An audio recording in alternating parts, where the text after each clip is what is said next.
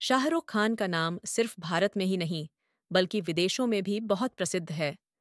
उनकी जितनी ज़बरदस्त फ़ैन फॉलोइंग इंडिया में है, उतना ही विदेशों में भी उनका क्रेज है।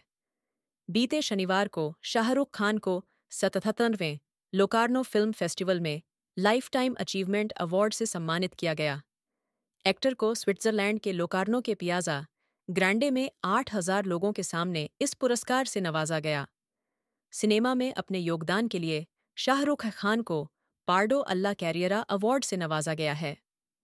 फ़िल्म फेस्टिवल में उनकी 2002 की मूवी देवदास की स्क्रीनिंग भी हुई। लोकार्नो फ़िल्म फेस्टिवल में Shahrukh Khan black shirt, jacket और ट्राउज़र पहने हुए बहुत ही डैशिंग लग रहे थे।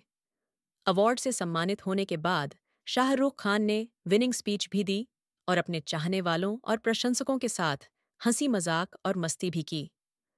गर्म मौसम में पसीने से परेशान होने के बावजूद, किंग खान ने लोकार्नो के मौसम की खूब तारीफ़ की। एक्टर ने लोकार्नो को खूबसूरत, कल्चरल और एक्सट्रीमली हॉट सिटी बताया, जहाँ पर इतने सारे लोग एक साथ रहते हैं। एक्टर ने अपने फैंस के साथ मस्ती करते हुए ये भी कहा कि ये तो मेरे इंडिया के घर जैसा है। फैंस चिल्लाकर आई लव यू शाहरुख बोल रहे थे।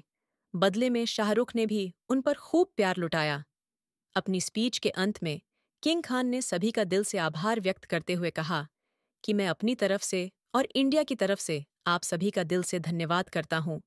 नमस्कार और धन्यवाद।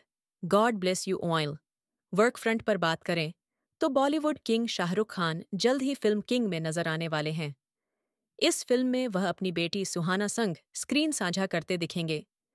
इस फ़िल्म में अभिषेक बच्चन विलेन की भूमिका में नज़र आएँगे। किंग एक एक्शन थ्रिलर फ़िल्म है, जो गुरु और शिष्य के सफ़र को दिखाती है। खबरों की माने तो फ़िल्म में शाहरुख डॉन के रोल में नज़र आएँगे।